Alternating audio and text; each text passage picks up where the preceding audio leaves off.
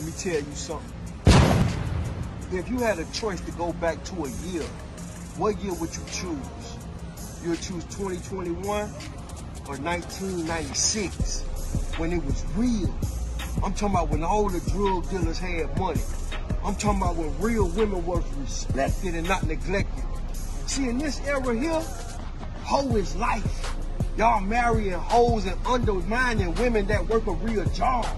All y'all drug dealers ain't got no money. Y'all don't even got no drugs. And then guess what? You got these dudes out here talking about they hustlers, but they homeless. Yeah, and then you got snitches that's walking the street and they well respected. See, in 1996, it wasn't none of that shit.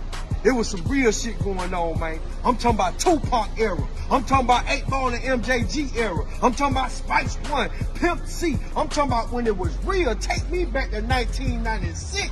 I'm talking about when everybody had a bag. Everybody was getting money. It was just on some real shit.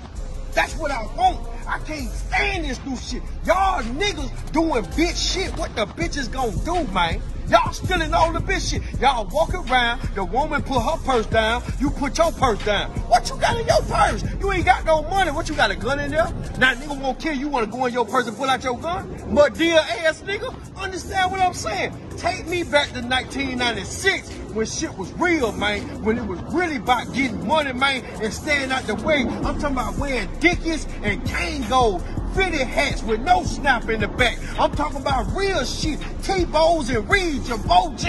Take me back to 1996 when the music was real, when it was less rappers and more fans. Now it's more rappers than the fans. It ain't even got enough fans for all the rappers. The rappers fans too. Understand what I'm saying? Take me back to some real shit. I'm sick of this era. Y'all dying y'all hair. All these rappers dying they hair. You walk around, your woman got red hair, you got blue hair, looking like a cop car. What you goddamn doing, boy? You understand what I'm saying? Man, everybody, a uh, uh, real estate agent, a goddamn vegan one day, you don't know what you want to be. Man, listen, let me tell you something, man. We're in a whole different era, and I'm sick of this shit, man. I'm trying to go back to 1996, and y'all dykes getting pregnant. All y'all dykes getting pregnant. You supposed to be goddamn, uh, you supposed to be like that. How you getting pregnant and you a dyke? You walk around with the braids and the tough face and you got a big stomach and you nine months and expecting. Who you fucking? Who's you fucking?